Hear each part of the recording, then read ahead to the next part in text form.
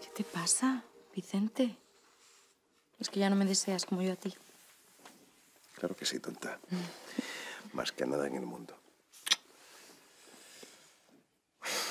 No siento que tengo la cabeza en otra parte. Que es tu hermano, que todavía no ha llamado. Creíamos que se había ido a Francia, pero no. Es imposible. Se ha dejado aquí el pasaporte. No quiero alarmar a nadie más de la cuenta, pero si mañana seguimos sin tener noticias de él, denunciaré su desaparición en la policía. Entonces, deberíamos cambiar nuestro plan, Vicente.